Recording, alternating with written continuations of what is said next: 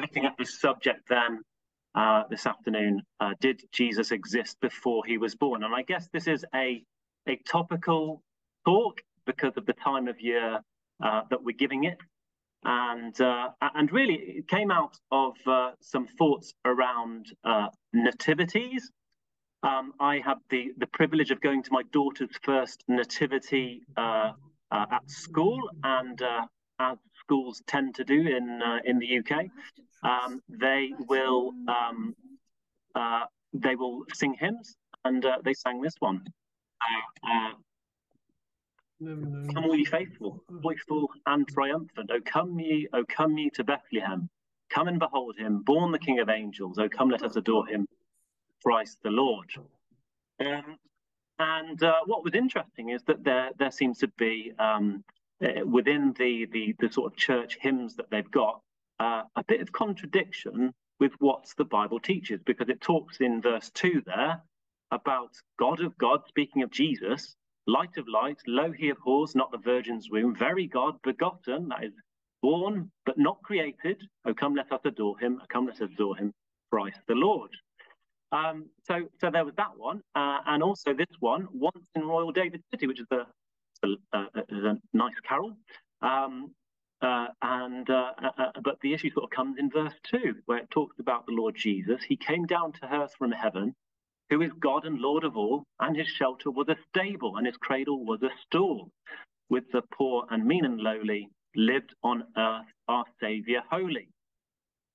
And uh, and yet, of course, whilst it's describing Jesus as God there, it acknowledges, if you look at verse four, uh, for he is our childhood's pattern. Day by day, like us, he grew. He was weak, little weak, and helpless. Tears and smiled like us he knew. And he feeleth for our sadness, and he shareth in our gladness. So it's the idea that Christ or the Lord Jesus uh, grew as a child. Um, he was little, he was weak, but he grew and developed and had that empathy uh, with all of us. So it, it, seemed to me that when uh, when we actually look at the the, the hymns that uh, are sung in perhaps schools or, or churches around the country, uh, this time of year especially, um, it can be quite confusing to understand the role of uh, the Lord God and the role of Jesus. Uh, and of course, to understand these things properly, we need to turn to the Bible. Now, if you uh, looked under the Jewish view of God within the Old Testament, you would see there um, very emphatic uh, belief that there is one God only. Hear, O Israel, the Lord our God is one Lord. Um, Deuteronomy chapter 4, verse 39 says, that, Know therefore this day and consider it in thine heart that the Lord, he is God in heaven above and upon the earth beneath. There is none else. And of course, um, the the context that, to which these words were being uh, read to the then newly formed uh, nation of uh, Israel, the Jewish people, uh, was in the context of the the uh, way in which they had come out of the land of Egypt. Egypt, that of course was known for its multiplicity of gods. God was trying to get his people to focus on Him only, uh, rather than many of the gods that were existing in those sort of pagan uh, times. Now, the subject that we want to look at um, this evening is uh, whether Jesus existed before he was born. And uh, actually, this topic arose as a result of some discussions with a, a, friend that had come along to one of our meetings, a chap called Dave. Um, perhaps some of you might uh, might remember Dave. Um, he absolutely loved reading his Bible. And you could tell that just by speaking to him. And uh, from reading his own uh, Bible, um, he understood that, uh, well, a belief in the Trinity, that is to say that God, Jesus, and the Holy Spirit are all equal but different, he, he saw that that didn't make sense. He, he could show from the, the Bible that God and Jesus were clearly distinctive, distinctive he would go to, to verses like John chapter 14, where uh, Jesus is, is, is, is reading and he's saying, uh, You have heard me say to you, I'm going away and coming back to you, speaking to his disciples. If you loved me, you would rejoice because I said, I'm going to my Father, my Father is greater than I. Um, then uh, he would also go to uh, verses like this, uh, talking about the Lord Jesus uh, when he was in uh, Gethsemane before his crucifixion.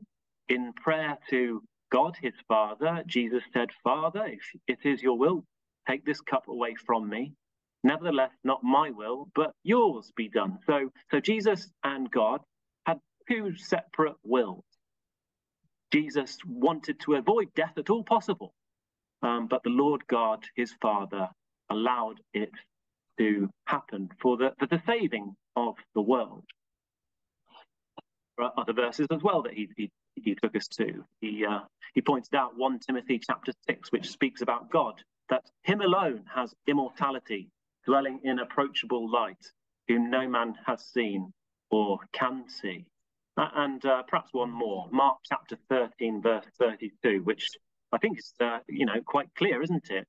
Yeah, Jesus says about the time of his return, he says, Of that day and hour, no one knows, not even the angels in heaven, nor the Son, but only the Father. So, so God's understanding of when Jesus was going to return was different to uh, the Lord Jesus and also different to the angels as well.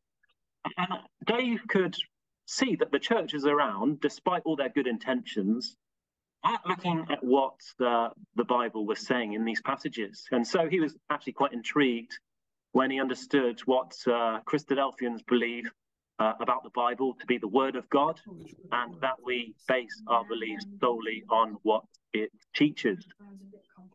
And in our discussions with him, it became apparent that, on the one hand, although he didn't believe in the Trinity, he felt the Bible taught that Jesus existed before his birth. That in fact, Jesus was the first thing God created, a spiritual being. Uh, to use, if you like, Dave's words, uh, he felt that it was at the beginning of time, God was the architect and Jesus the foreman, and the whole of creation was created in that way. And uh, and Dave really wasn't getting here. This is what uh, he understood some of the Bible verses were, were teaching him. And uh, if you like, he went to these puzzling passages, uh, such as John chapter 1, verse 1, where it talks about in the beginning was the Word, the Word was with God, the Word was God, he was in the beginning with God. And uh, the Word, he said, identified with Jesus. He took us to uh, uh, another one, John chapter 8, verse 58, where Jesus is speaking to uh, the Pharisees, describing um, the fact that uh, he existed. Uh, most assuredly, I say to you, says Jesus, before Abraham was, I am. So, so speaking to the Jews, uh, Jesus was declaring to them that in somehow, some way, he existed before Abraham. And there are a, few other verses that uh, Dave took us to, such as Colossians chapter 1, where it describes Jesus as the image of the invisible God. And, uh, and, and by him, all things were created in heaven and earth, um, visible and invisible.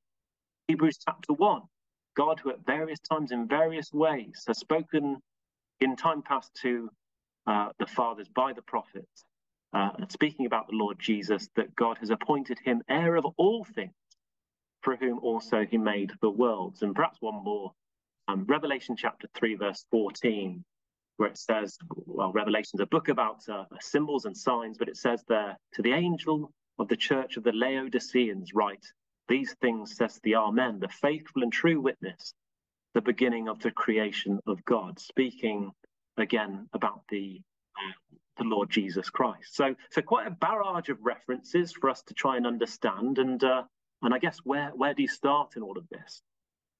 Well, I suppose the first thing to, to think of to start off is to think, well, do these things actually matter?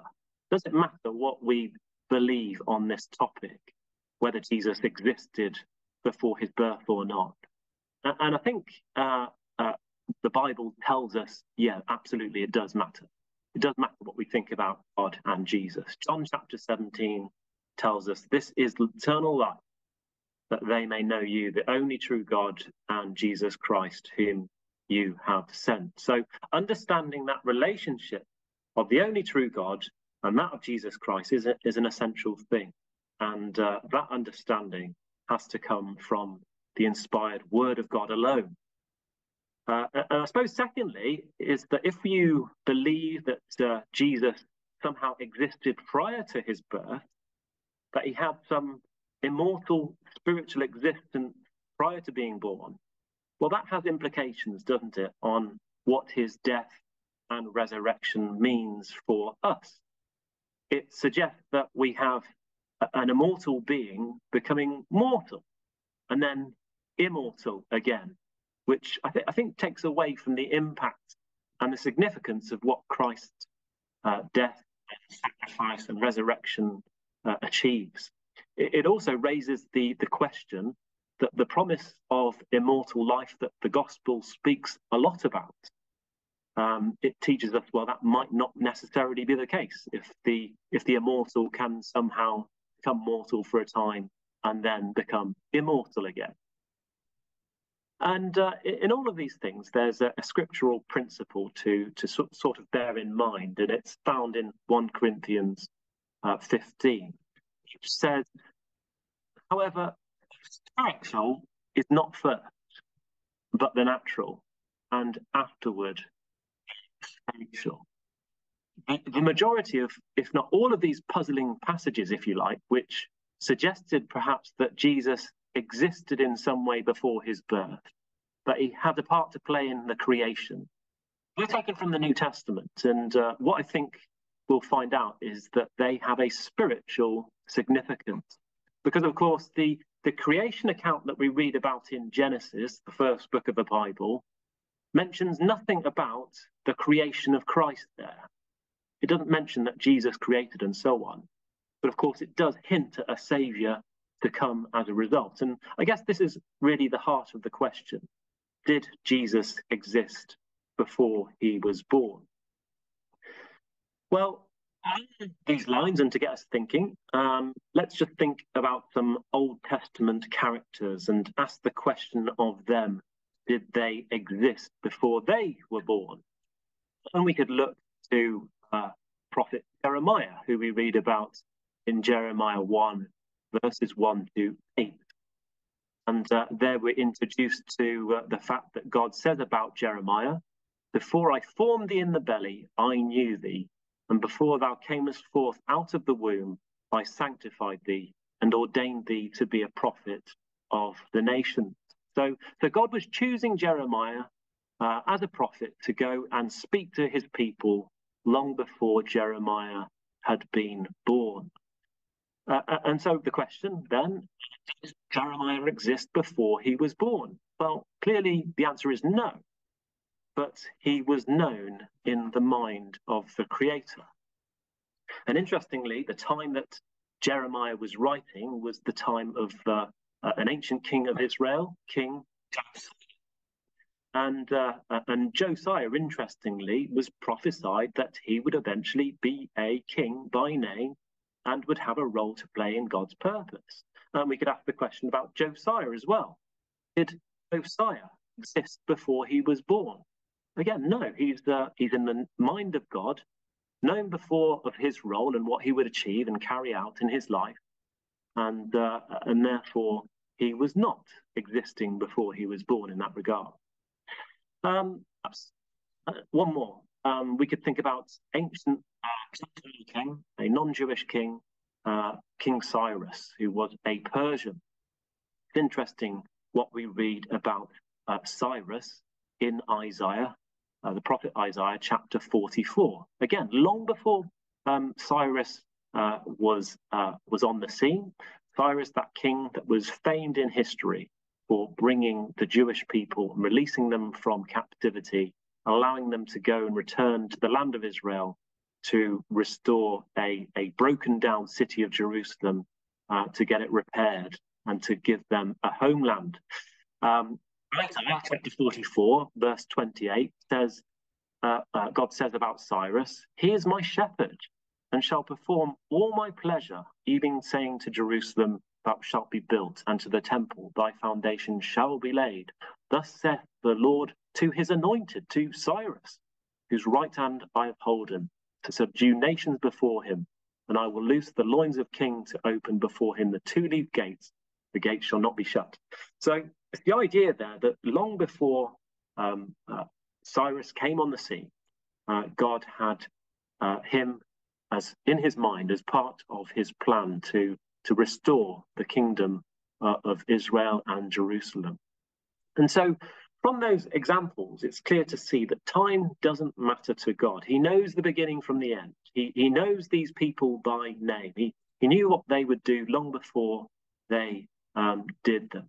And, and they did not exist in some mystical way before they were born. Um, but God knows all things. All things are known to him. And I guess we have to stop and appreciate uh, this with our subject this evening that God isn't restricted by time or space, that Christ too was known to God before the world began. And we have a helpful um, sort of deep verse that we read about in Psalms that uh, reminds us that we shouldn't limit God with respect to time. Psalm 90 tells us, Lord, you have been our dwelling place in all generations, before the mountains were brought forth, or ever you had formed the earth and the world, even from everlasting to everlasting, you are God. And really, that's uh, that idea of God's eternity is is unfathomable. Uh, you know, we can't comprehend it because we are people that are restricted by time. Uh, and God, as it were, lives outside of time. He exists outside of time. He's from everlasting to everlasting. And it's interesting that this psalm goes on to say that um, uh, a thousand years is as a day to God. It's just something that we can't get our heads around, that God knows the beginning from the end, that he can look at the beginning of time uh, and see the creation, as it were, and, and then look right at the other end of time, his kingdom on earth with what he has promised. And he'll know who, who's, who's there, who's fit for that time, because they exist to him now. And I guess this uh, this this verse in Isaiah really sort of explains this, this um, these thoughts really for us, uh, where it says about God, "My thoughts are not your thoughts, nor are my ways your my ways," says the Lord. For as the heavens are higher than the earth, so are my ways higher than your ways, and my thoughts than your thoughts. And and I guess um, it was with that sort of uh, a misunderstanding, if you like, a, a lack of understanding that uh, the Sadducees, a group of Jewish uh, elders, if you like, that were influenced by uh, the Greek uh, sort of customs and philosophies of the day, they came to Jesus with a question. And it was a question about resurrection. They came to him, um, and we read about this in Matthew chapter 22, a question about resurrection where whereby they, they, they didn't actually believe in the resurrection. They understand uh, they, they, they wanted to understand how it would practically work. And they give Jesus this sort of um, hypothetical scenario where um, this married man um, died and, and left his wife. And the Jewish custom is that uh, brothers of this man should uh, marry their, wife so that her inheritance would not run out um, so that it wouldn't um, wouldn't wouldn't um, wouldn't ever fall away. And uh, and they pose the question to Jesus. Well, well, in the resurrection, when all these uh, people are raised, well, whose whose husband is she, will she be? Will she be um, the brother's husband or the actual uh, uh, man who she first married? And uh, and it's interesting how Jesus um, responds to this this question he says, you know, have you not read what God has has has, has put about the resurrection? Um, and, and we read about this in Matthew chapter 22, verse 32, where Jesus says of God, I am the God of Abraham, the God of Isaac, and the God of Jacob. God is not a God of the dead, but of the living. Um, that although dead and buried, the certainty of the resurrection is sure. Uh, and this is how the Gospel of Luke puts it God is not a God of the dead, but of the living, for all live to him. And I guess what Christ was driving at is that the, the very promises that God had given to men like Abraham and his family they were fully based on giving life where, humanly speaking, uh, there was no hope at all. And yet, what was required were for those that feared God, for them to put their complete trust in Him. So, in, in thinking about Abraham and his wife, well, we know that they were well into their old age and childless. There, there seemed no hope of, of life or, or, or, a descendant to come. And yet God promised that, uh, that he would be a father of a great nation and that all families of the earth would be blessed through him and his wife Sarah. And faith was required. Abraham and Sarah, and God provided a son in their old age. And when Abraham was called to Isaac as a sacrifice, faith was required. And, and Abraham would have done it. He would have gone through with killing his son. But instead, of course, God provided a ram caught in the thicket. And God knew that um, he had provided Abraham a way out. And this is something which is, is brought together for us in the book of Romans, Romans chapter 4, which speaks about faith those, those promises coming real. And uh, we read there, therefore, it is of faith that it might be according to grace, so that the promise might be certain to all the descendants uh, of, of Abraham, not only to those who are of the law, but also to those who are of the faith of Abraham, who is the father of us all. As it is written, I have made you a father of many nations, because of him whom uh, you have believed.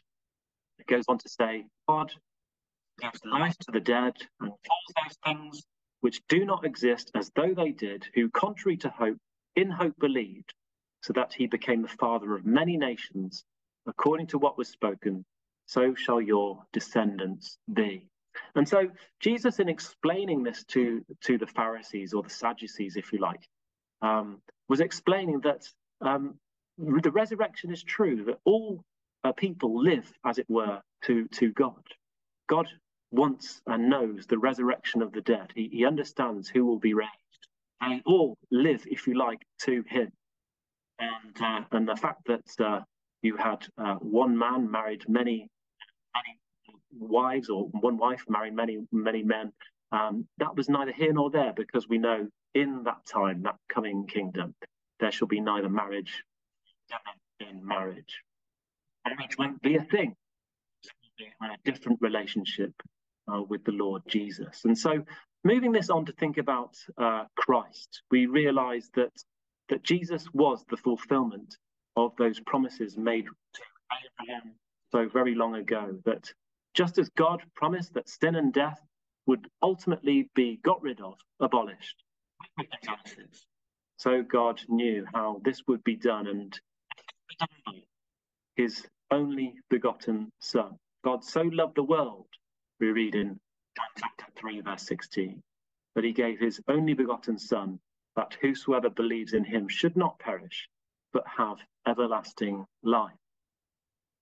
So, where we read in, in John chapter 8, which we briefly mentioned about Christ explaining to the Jews that Abraham rejoiced to see his day, and he saw it and was glad we see an inference, don't we, to Abraham offering his only begotten son, Isaac, and that there was a saving from death because of that future Lamb of God. And so before Abraham was, I am, Jesus said. Not that he said, before Abraham uh, was, I was, or that I existed, but that Jesus, in the continuing purpose of God, knew that he was that savior for mankind, just as that ram saved Abraham's son.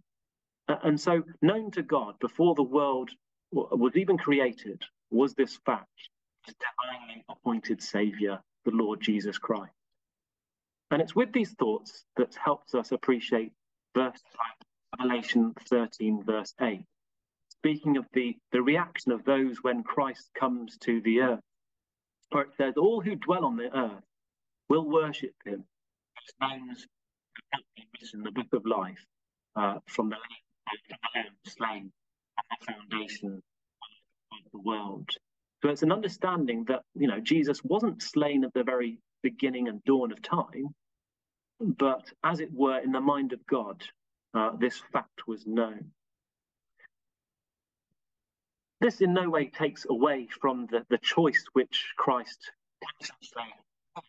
in offering his life as a, as a free will sacrifice for, for us, but that we marvel at God's wisdom and love towards us, whereby we can say these words in Romans, oh, the depth of the riches both of the wisdom and knowledge of God, how unsearchable are his judgments and his ways past finding out. For who has known the mind of the Lord? It was always in the purpose of God to reconcile sinful men and women to him through the sacrifice of his son. Uh, and this, of course, had to be explained at the very start, if you like, of Christianity.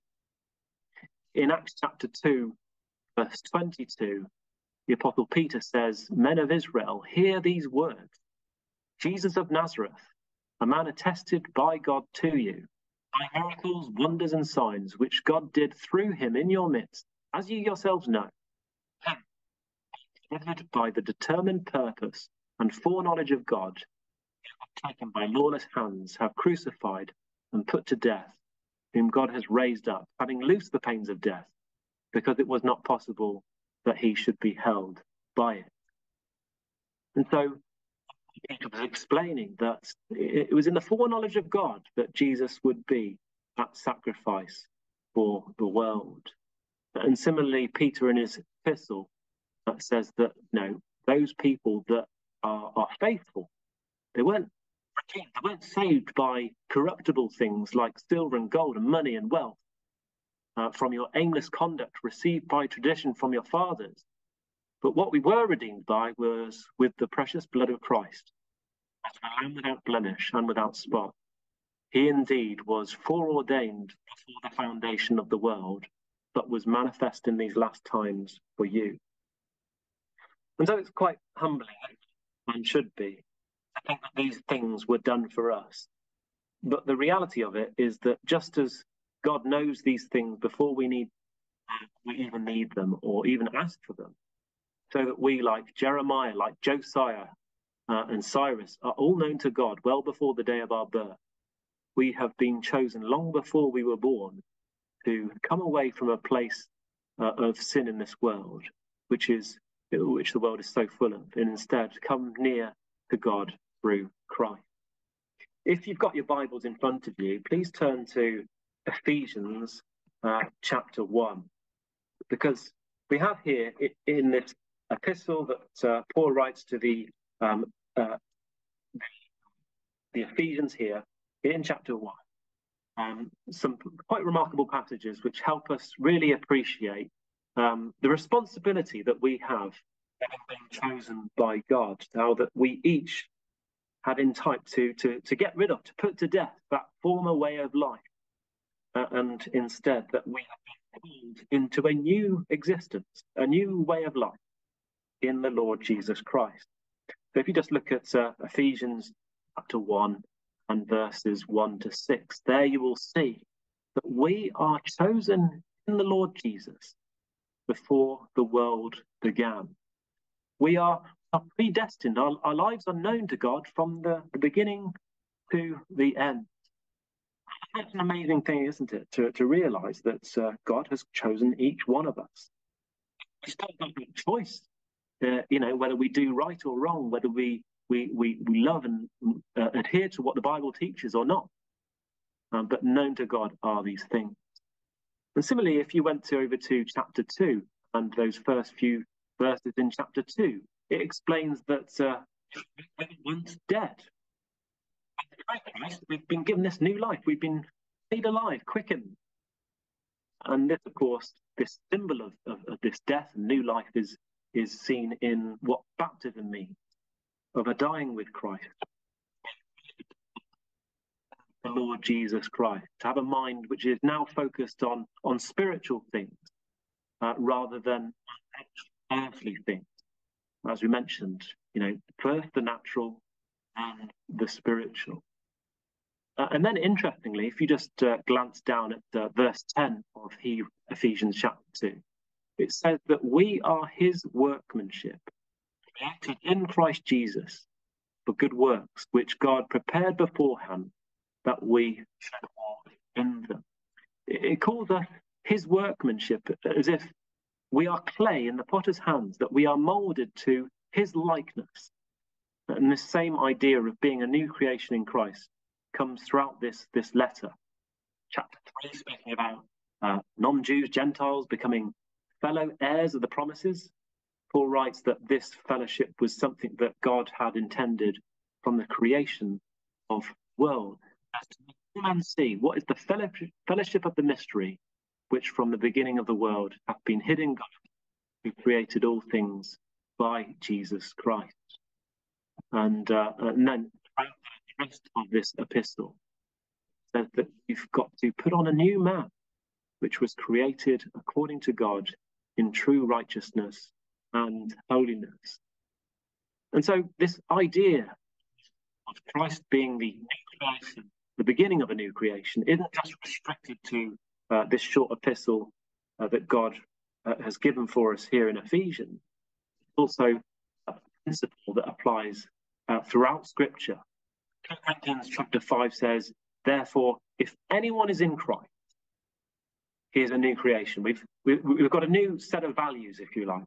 Old things have passed away. All things have become new. Now all things are of God, who has reconciled to us to himself through Jesus Christ, has given us the ministry of reconciliation. So, with these things in mind, when we, if you like, what perhaps appeared to be at the first uh, puzzling verses, we can we can see this principle in practice. You know, think about that, that verse that we read in Acts chapter 1, verse 16, where it describes Jesus as the image of the invisible God. It says, All things were created uh, that are in heaven and earth, um, visible and invisible, whether thrones, dominions, principalities, or powers, all things were created through him, the Lord Jesus, and for him. Well, we can understand what that's talking about now, can't we? Because we, we see a little bit of context in, in verse 13, where it says that we are translated into the kingdom of his dear son. So it's as if we are, are living in the kingdom now through what Christ has done. Not that we're in the kingdom now, but the certainty, the assurance of the kingdom is without doubt. And what has Christ created? Well, is, is it talking about natural things, of plants and animals and rivers and oceans? Speaking of, uh, of powers and rulership, of governance. See, see, Christ has, has created the potential for this whole world to be changed, a way of a new life with God's principles at heart. The powers of heaven, have been arranging events, working towards this magnificent time because of the certainty of fulfilling uh, these promises. So uh, we see there in, in, verse 18, it qualifies it for us that God, uh, that Christ is the, the image of God because he consistently showed perfectly those godly characteristics. He's the, the firstborn of creation. He's the, the head of the body, who is the beginning, firstborn from the dead. And so he was first to be raised from dead, the dead, to newness of life. He was the beginning of a new creation without sin. And we could again look to uh, Hebrews chapter 1, where it talks about Jesus as being heir of all things, through whom he also made the world. And we see the context is about the inheritance of, of, a, of a, brand new world. And we know that the, the verse in Acts, that uh, it was God who created heaven and earth, the world or the, the age that created uh, that, that was created by Jesus is a world of life after death. So, so briefly then, when we when we come to consider the beginning of the Gospel of John, what are we reading about? It's a new beginning, isn't it? But now it's a it's a it's a focus on the Lord Jesus.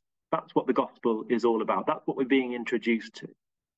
And what we're looking at is a contrast between the, the natural order of things to a new spiritual creation where Christ is the start of that new life to remind you of uh, John chapter 1, verse 1 there.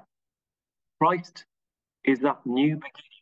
Just as when God spoke in the beginning in the, in the creation of the world, and it was done. Um, so Christ, too, the Word made flesh, go on to obey the will of his Father, being like his Father and doing all that was asked of him, because he was in the, the foreknowledge of God to do that. And we, we're given, aren't we, in these uh, these first few verses in John chapter 1, the example of the creation of light. Just as the, the creation of light brought about life, so Jesus, who is the, the light of the world, now offers us hope of eternal life. As in verse 10, uh, he was in the world, and the world was made through him, and the world did not know him. He came to his own, and his own did not receive him. How was the world made by Jesus? Well, the world was made by him, complete by him, because of his sacrifice for the world. And uh, it's it's verse 12 that describes this making, this this new creation process. As many as received him, to them he gave the right to become children of God. He's created new children, new sons and daughters to those that believe in his name distinction, of course, um, verse 18, which places a difference between uh, the Lord Jesus and God. No one has seen God at any time.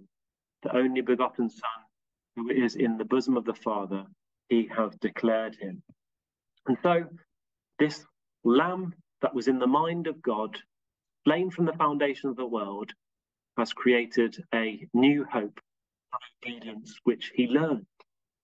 We told aren't we? That he grew in favour with God, words which describe a pressing character. Not that he had a, this character before. We have a new and living way where we can God as our Father. And all things are in the Father's hands. He has given judgment to his Son, something which God has ordained of old and involves each one of us. God has appointed a day on the which he will judge the world in righteousness by the man whom he has ordained. He has given assurance of this all by raising him from the dead. And so we need to wait for that time faithfully. A great example set before us when we shall be invited to share with our King in those great promises of, of old.